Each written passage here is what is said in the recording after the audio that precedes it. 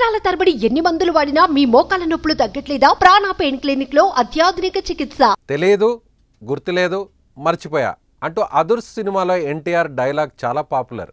ఇంచుమించు అలాంటి రైమింగ్లోనే ఓ మాజీ ఎమ్మెల్యే అంటున్నారు తెలీదు వెళ్ళలేదు పగలగొట్టలేదు అంటూ చెప్పుకొచ్చారు.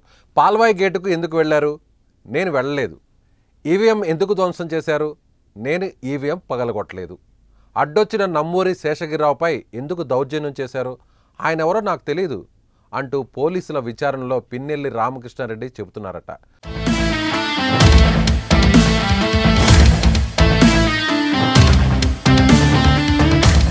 పోలింగ్ రోజున పల్నాడు జిల్లా రెంటచింతల మండలం పాల్వాయి గేటు పోలింగ్ కేంద్రానికి నేను వెళ్ళలేదు.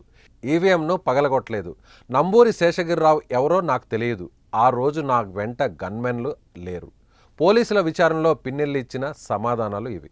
సార్వత్రిక ఎన్నికల సమయంలో పల్నాడు జిల్లా మాచర్ల నియోజకవర్గంలో పెద్ద ఎత్తున హింస చోటు చేసుకుంది. దీనిపై అటు భారత ఎన్నికల సంఘం ఇటు కోర్టులు ఆగ్రహం వ్యక్తం చేశాయి.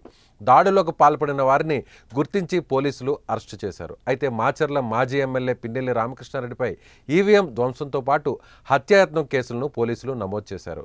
రెండు హత్యాయత్నం కేసుల్లో పిన్నెల్లికి మాచర్ల కోర్టు రిమాండ్ విధించడంతో నెల్లూరు జిల్లా సెంట్రల్ జైలుకు తరలించారు. పిన్నెల్ని కస్టడీకి ఇవ్వాలంటూ పోలీసులు కోర్టును ఆశ్రయించగా రెండు రోజుల పాటు కస్టడీకి కోర్టు అనుమతి ఇచ్చింది.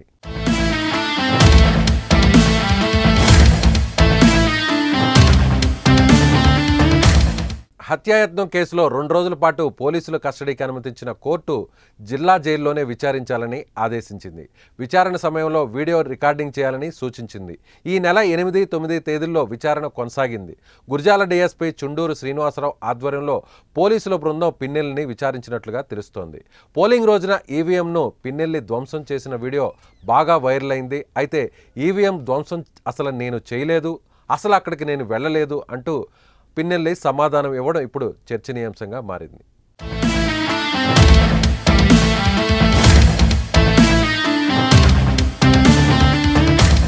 సో ఇప్పుడు పిన్నెల్లి రామకృష్ణారెడ్డి మాచర్ల మాజీ ఎమ్మెల్యే వైసీపీకి సంబంధించినటువంటి నేత మాచర్ల వైసీపీ అభ్యర్థి పిన్నెల్లి రామకృష్ణారెడ్డిని పోలీసులు విచారించేటువంటి క్రమంలో జరిగినటువంటి సంభాషణ ఈ విధంగా ఉన్నట్టుగా తెలుస్తోంది.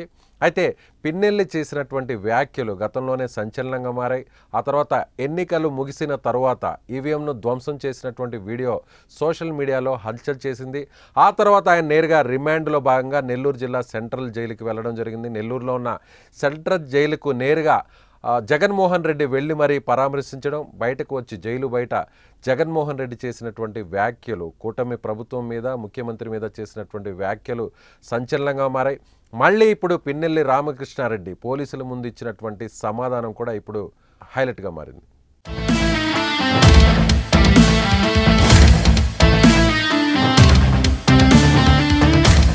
సుమన్ టీవీలో మీ పర్సనల్ అండ్ బిజినెస్ ప్రమోషన్స్ కోసం కింది నెంబర్కి కాంటాక్ట్ చేయండి.